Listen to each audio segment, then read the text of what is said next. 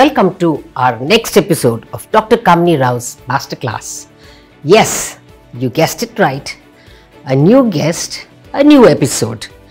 You've heard doctors, scientists, bureaucrats, police officers, and whatnot. But we've not heard art. Yes, not art. What about Veena? The string instrument. What comes to your mind? Of course, Veena means Suma Sudhindra. Yes, Suma Sudhindra and Tarangini. Yes, you guessed that right as well. Before I talk anything more, you will hear it from her herself. This is important because she is our very own person from Bangalore. She's made her name internationally, a Veena exponent, a teacher, trainer par excellence. Enough of recitals will fill this room and whatnot. I would love to introduce her to you people through what she has done because she's got so much of information to give all of us. Let's go over to Suma Sudhindra. Hello, Suma. It's such a pleasure to meet you. Oh, it's a pleasure to be here. Thank you very much, Suma.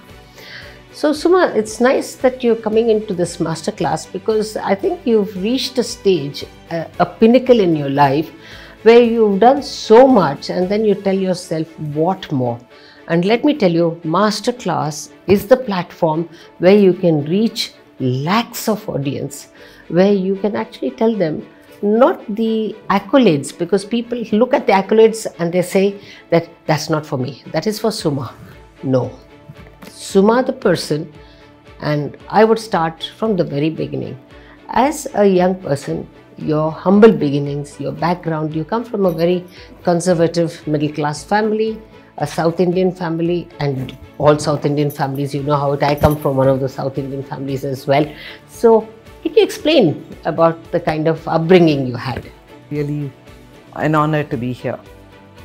As you rightly said, I came from a very conservative South Indian family, Brahmin family. You know how it was 40, what 40, 50, 55 years back. It was very conservative. But I had a very happy childhood, I would say. In spite of all that, I had lots of friends. We were always playing. As all the conservative South Indian Brahmin families, they would send their girls especially to learn something music, something either vocal or instrumental or anything. Dance was also not that popular at that time, but music, yes, I remember all my friends coming to music class but giving up at certain stage. So that's how I started my music. I started when I was six. I learnt vocal classes for two years and then I went into Veena. But at six, it would be too uh, early. But No, I would suggest that it's the Starts- right age because you imbibe a lot of things without giving much thought to it.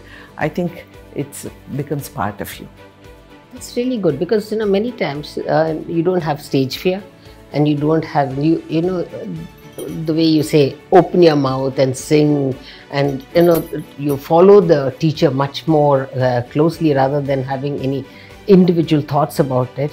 But people say that oh. That means you know something will happen to your throat or something like No, that. no, and you Uh, saying this It's very important. good. It's important. In fact, uh, I have students right now who I start at five because I find that it's very easy. You don't put in a lot of effort when you are young and you get it naturally. It becomes part of you, then you'll never give up. So it's, I always, uh, in fact, I advise all the parents if you are watching, if you want start, if you want to start any classes, start early. There's nothing like it. Without putting in much effort, if they are interested, they pick up and they learn. Yeah, that's really nice to know because you know after you started at five, then what happened? You just continued with that. I continued because uh, my I had a very strict mother. Uh, so she believed whatever you do, you have to practice. That was her goal.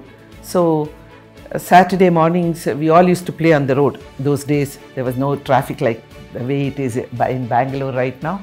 So all my friends would be playing, and then she would allow me to go only if I practiced whatever I had learned. That The means a lot. Not whole week, whatever I knew.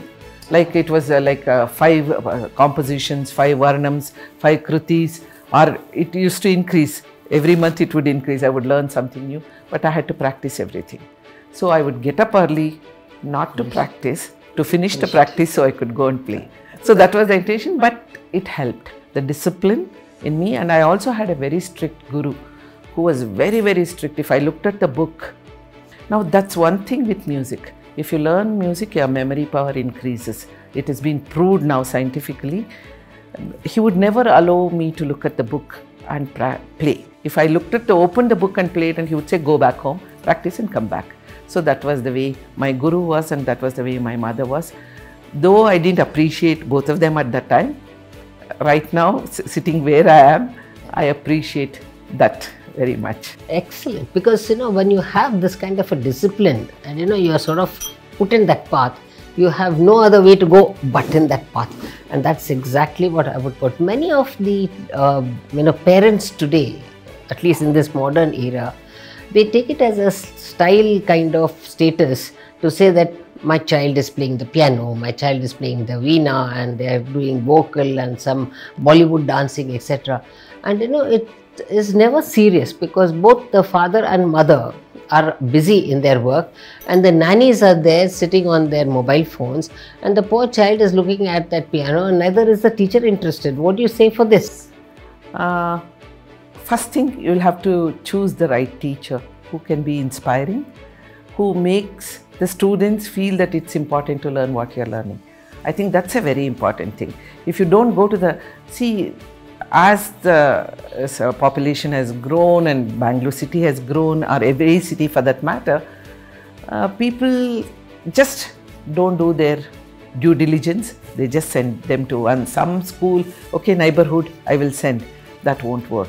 You need to know who is the good teacher, who is the right institute, or which is the right institution to go. I think if there's an inspiring teacher, for example, uh, there is a very nice teacher in our institution where we are teaching music at this point of time in Indian music experience. We have a very good Mridangam teacher who is so popular and the, the children have bonded with him. It's very important that you bond with your music teacher or your art teacher. It's not the same as you go to a regular school. So that's important. If that is taken care of, I think the rest will fall in place. Another thing, Suma, I just want to know what do you advise parents who want their child to have a finger in every instrument and then expect the child to excel in all the instruments? What is your uh, sort of No, advice to such people? to- Just to master one thing, it takes a lifetime and it's not enough. I still think I I can explore so much more in Veena and I can do so much more. I, I need time to do that. So in every field it's like that. Once you do a deep dwell, you need time, you need focus, you need to have discipline. I don't know. Initially, maybe you can put it, put them into two, three things, and if they pick up any one of them well, and I think the rest should take a back seat. You can't do five different jack of all, and uh, you know if you want to master, you can't. You can do two, three things. Yes, related. Yeah, if you are learning, for example, vocal, if you enhance it by learning mridangam, it you know it makes it opens your mind, it opens your vision. But if you put too many things, a piano and a veena and uh, something else, It doesn't work. That's good. So again, getting back to your early life, of course, obviously you went to school and they were strict as well, and then you were. When did you actually get interested in the veena? I was interested in Veena all the time uh, because it was part of my life. If you ask me from young age, I've always learnt Veena and I didn't learn too many other things. So I was always interested in Veena. But then I took it up professionally by musician standards quite late, I would say. I was 20 when I seriously considered music as my profession. Uh, my mother maybe thought that I will only teach and do small time concerts, is what maybe she didn't have the vision. Or uh, also, I didn't come from a musician's family. So maybe that was what everybody was thinking when I said I'll take music as a profession. Nobody ever thought that I would travel the way I traveled, or I would perform the way I performed, or I would make a Tarangini Veena at the end of it. Nobody, maybe even I surprised myself, but I always thought big. That was for sure. Uh, when I was 20, I heard Chitti Babu in one of the concerts. I used to attend a lot of concerts as all my friends were attending and my family was attending because they were very much interested in music. I went to his concert and as luck would have it, as I was just talking to you, I told you I believe that you know Destiny. destiny plays a very big part. I do believe in that. I went to Shamla Bhave's house. Her her sister Nirmala happens to be a very close friend of mine. So I went to their house and then Nirmala told uh, her sister, uh, Suma plays Veena very well and she asked me to play. I played and her mother was also there who was a very well known musician at that time. And uh, there was a stunned silence after I finished. I, I thought that was, that's how my knowledge was. And I thought, okay, I've done a bad job, so they're not saying anything. Then she turned around and said, Shamla, you're playing so well. What are you trying to do? I said, I'm looking for a job. Then she said, No, you should continue as a musician. I said, No, I'm not ready for a concert. I want to learn from Chitti Babu. Oh, just off the record. Uh, no, no, I had heard him the previous week and I thought I should, because I loved the way he approached the Veena, because he was a. He was a revolutionary and he changed the way Veena sounded. He made that. uh, if you look back in the 20th century and see who made the remarkable contribution, it was he. One of the biggest contribution was from him. The way he handled the Veena, the sweet sound of Veena which came out of his Veena. His approach and his fingering techniques were very different from what others were playing till then. So I wanted to go and learn from him. And then I had no clue that Shamla was a good friend of Chitti Babu's. So she picked up the phone, called him, and he said, Come tomorrow. And then you won't you believe it. Uh, no, we just Chennai, both, uh, Sh- Shamla came with me and introduced me to him, and I played. Where? In Chennai? Chennai. Oh, we went to, we took a train and went to Chennai, Chennai and I played for him, and that changed my life. And uh, then uh, What did later, Chitti Babu say? he accepted me immediately. He asked me to play. Then, much later, three years later, then he told me, he looked at me and then he thought, okay, here's a very glamorous woman who is, a girl who has come to learn from him.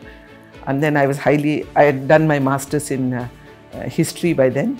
So he thought, he, he thought to himself, I believe, she won't last.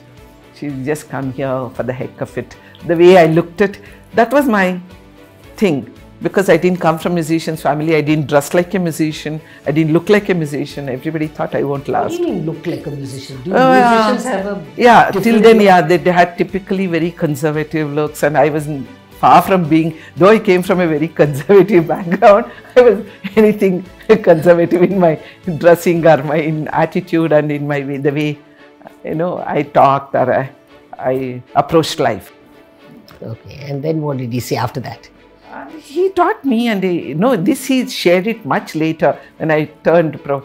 Then I was very serious. I was putting in eight, nine hours of practice, and I just got married. Everybody was th- thinking at that time that I was quite crazy because I'd married this uh, doctor who was who had already started his practice. Those days he was doing very well, and then everybody thought I, sh- I should enjoy life. I think he's doing well now as well. yeah. Uh, but then they thought I should just enjoy that and not put myself through the hard work, which Dr. I was. Sudhindra. Oh, Dr. Sudhindra, Yes. yeah. For the whole week. so, but uh, it was pretty hard. Not financially, I wouldn't say, but it's a very emotionally and uh, physically, it was a very hard work because uh, putting in that kind of practice takes away takes a lot out of you.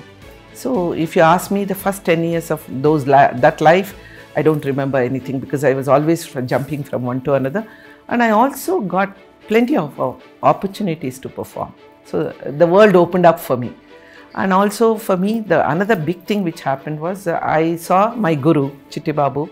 My first exposure to uh, the music world was through him. Through his eyes i was uh, because i was uh, accompanying him to concerts. And he used to get he was like a big star when i went to him i was the only student he had at that time because he had no time to teach. So i was thinking life is like that for musician because i had not seen anything. I had no experience. So it's a good thing. It's a very good thing to start think that you should reach there. I think it's a very How was it to get into a man's world and conquer the man's world? Because in those days, getting into this kind of instruments, etc., it was considered parampara and you know khandani, and therefore you know you either have to have a big name behind you or you have to be a male. I But had then- a big name behind me, my guru. Yes, So but then you when you started off before uh. Honestly, I did not have so much of a, uh, what would I call the, uh, you know, gender bias. I really did not face because I was, but I was making news for a lot of wrong things also because they thought some educated girl who was not into in the music family was making a name. So people were curious to see. I was very different from an, a regular musician. that itself gave you a lot of publicity. They- In a way. I remember for one of the concerts because I used to drive the car. Nobody was driving their own car and going to a concert, but I never thought it was something which should not be done. I did a lot of things which were not acceptable at that time, but then I never knew anything better than. But it's better that you didn't know because then you wouldn't have you know, Yeah. broken the glass ceiling and gone forward. Yeah. Yeah. But it's uh, good that you did that because you know even this Tarangini uh, Veena that you're talking about. Tell my viewers what is this Tarangini Veena and you've patented it. Yeah. That's the thing that you've left behind for legacy. Yeah, the one of my proudest moments and proudest achievements in my life is Tarangini Veena. If you ask me what I will leave behind, That I- is what it definitely the Tarangini Veena. I started traveling in uh, the 80s. Uh, I think uh, again I was one of the first one to travel so much so wi- widely with the Veena. It was very difficult to carry the Saraswati Veena and then I have broken it on every single trip. Then how First- do you manage? First time I cried, second time I started repairing. By the third trip, I had gone to the Veena maker and learned to repair it, and I started repairing it. I was quite, you know, I sat with him and learned how to repair the Veena, and I had to do it. If I had to perform, I had to do all this. Uh, through these tours, I always felt that I should improve the Veena because uh, I also started playing a lot of fusion music around the same time and I used to play with a lot of guitarists and uh, other instruments. Every three months when I went back to another concert, I would have my guitarist have a fancy new instrument and he would use it. Here I was sitting with a 300 year old Veena, refusing to change anything. So that kept me thinking. And then I was also doing my PhD. Meanwhile, I was doing simultaneously many things at that point of time. Since I had a late start at 20, I had to reach where my colleagues were. But I reached, I'm happy to say that I reached where my colleagues were there in five years. Uh, they had performed for 15 years, but I performed for five years, but I was there along with them. It, I was able to do that, but I also went to, after I finished learning, not finished, after I finished three years with uh, Chitti Babu, I went to many other gurus, picked up a lot of things, lot of uh, nuances, subtleties. The more subtleties you learn in Carnatic music, the more layered your music becomes. I can sit here and talk about all this, but uh, when I started, I didn't understand. It's very important that you learn classical music and you practice it over and over again and make it layered and layered. That makes your music much more appealing to everybody. So you're saying that even if you do instrumental, it's always nice to have some Carnatic classical music learning vocal so that it helps you with your instrument as That well. is because the way Carnatic music is structured. Uh, for a common person, if I have to explain, it's very composition based. So there are a lot of uh, lyrics in the music. Sahitya is what we call. So that has to reach out to people. You need to understand vocal music because uh, we don't have a separate instrumental music written material in Carnatic music, which is there in Hindustani music. In Carnatic music, it is not there. So you have to follow vocal tradition, and everybody, it's good that if you learn vocal music, it helps you to grow as a musician. You invariably start singing because you need to understand the compositions, and there are some beautiful compositions in Carnatic music. And those people who even sing these light uh, music numbers sing it much better.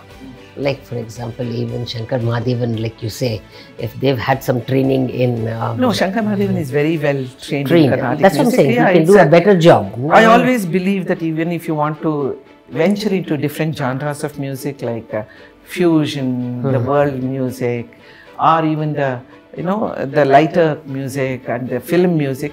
If It's nice to have a base.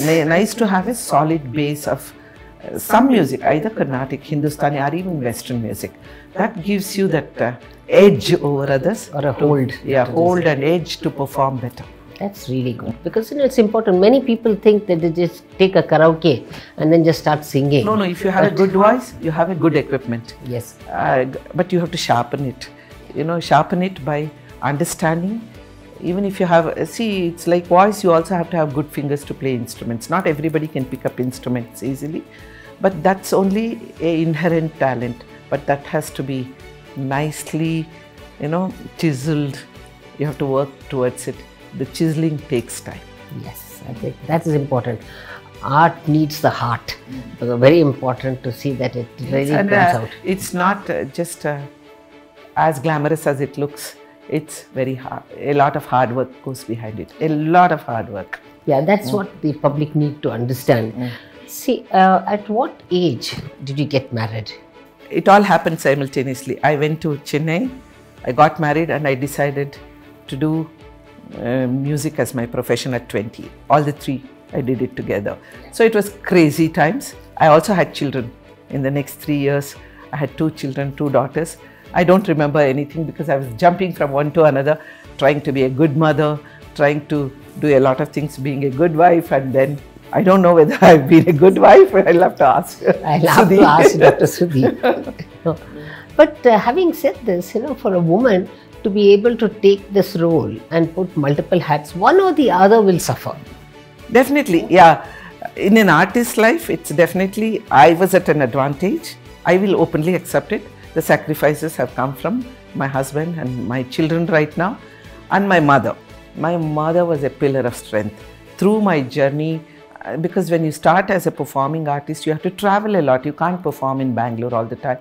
And I was traveling very often. So it was very difficult for me to leave young children with just the staff. You know, you, you can't go peacefully and perform. So my mother rallied around me. Their sacrifices came from them, definitely.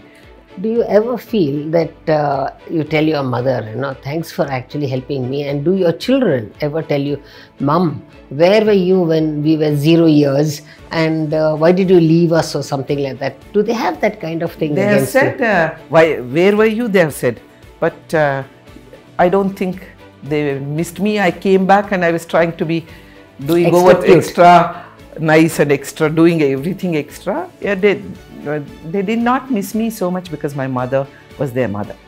When she died, uh, I remember my elder daughter telling me she was really depressed and crying a lot. And then I, at some point, I turned around and told her, I need space because it's my mother who has died. And she turned around and told me, No, you didn't. Uh, we also lost a mother, she said. So That must have hurt you a lot. no, it didn't. Because my mother was very sweet, and then uh, I was very thankful to her because how many people have that advantage of. Uh, I always have looked at the positive side. I, I've been very close to both my daughters.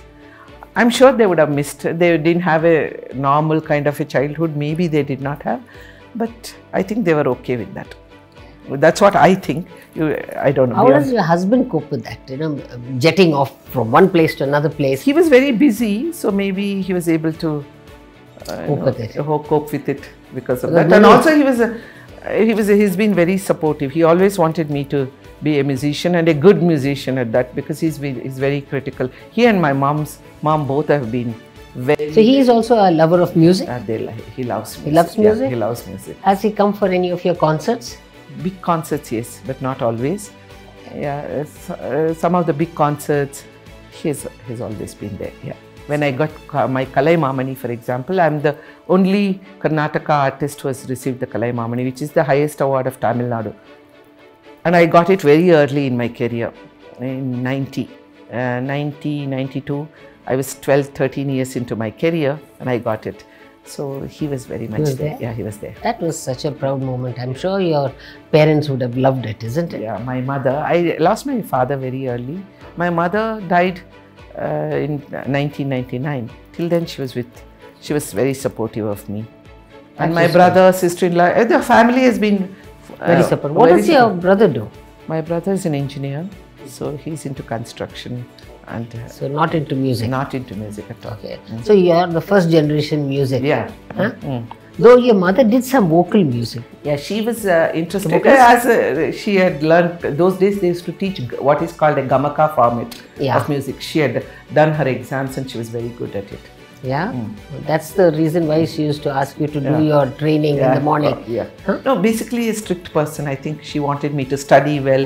Whatever I wanted to do, she had to you have to do the best. That's what was her motive. That is something which is good. But uh, that is what has actually brought that discipline into you. Yeah, very into true, your very true, music. yeah. Because you know, once it is put inside you at a very early age, it just continues. So then you also received our highest award, no? the Kala Academy Award here. The Sangeet Sangeet, Academy. huh. Yeah. That's the national award. National Yeah, awards. that's a validation for any for your- musician. Any Yeah. musician. So how did you feel when you got that? very happy. Uh, the thing is, I've also been in the administrative part of uh, music from the beginning of my career. In the 80s, I joined Chaudhaya and I, I've been the secretary for uh, 30 years and then I was the president. Uh, even now, I'm on the committee. So I've been involved in the cultural activities part of it. Uh, though I've been a practicing musician, so I've had I've sat on both sides, and uh, from 2008 to I think nine, I was on the SNA committee in the central government, Central Sangeet Natak Academy. Uh, so I was nominated at that time only, but unfortunately I got into the committee and then I could not accept the award because five year it's a more than a five year tenure, so I had to wait it out. And I'm very happy that you have validation and you you, be, you feel responsible, more responsible. Absolutely. I think uh, that's how I look at awards because I've sat on both sides. I know what goes behind also. I think uh, more than uh, looking at awards, I think you should always look at how you can become a better musician, how you can acquire knowledge, you know, how you can and how you can impart knowledge. impart knowledge, and how you can perform. In my, in our case, a performance, how you can improve from every performance is like a examination. So how you improve from one to another is a very important aspect. For me, that's more important than just going behind the awards. It'll all come. So, viewers, I'm not going to disappoint you. I know what you're thinking as to why Suma is not giving her performance. I was also thinking that, but it's going to be soon here. Suma, they're waiting for your performance, and so am I. Thank you. I'll be just doing a short tanam in Ragamalika and I'll conclude that with Krishna Nee Begane Baro in Raga Yaman for all of you. I'm sure you'll enjoy this because it's a very popular composition.